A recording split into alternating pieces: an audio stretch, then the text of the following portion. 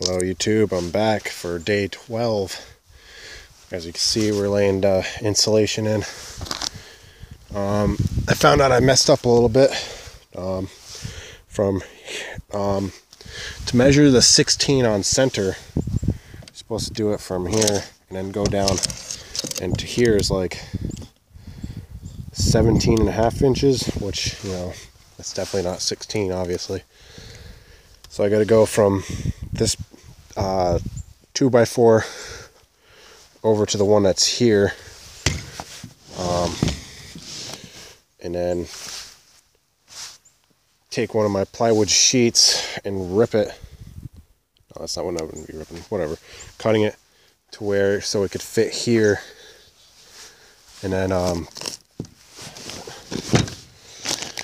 But as you can see, I'm starting with the floor. Hopefully try to finish it before it gets dark. I'd like to anyway. But so um, this plywood sheet go from this 2x4 to here, which I got to cut it a little bit here. So I'll be able to fit the board that I'm going to put here on that 2x4. But um, yeah. So I went over to um this place called Alex's uh, uh his hardware Alex's hardware store up in Plattsburgh and um had this uh uh old guy um go into the hardware store and he said that my car looked like a spaceship that Han Solo flew in on. So uh, I'll take that as an extremely big compliment, even though he probably meant the opposite. Um, but I thought it was hilarious. but um, I'll do a video on that later. Uh, maybe tomorrow. Tomorrow's supposed to be really nice, 69 degrees.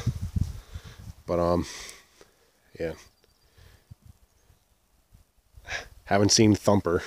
Uh, he was hiding, I'm guessing but Had a hawk out here earlier. But so um, I'll get back to work. Um, don't think there's a. Uh, wait a minute. Um, I don't think there'll be a part two, but there might be.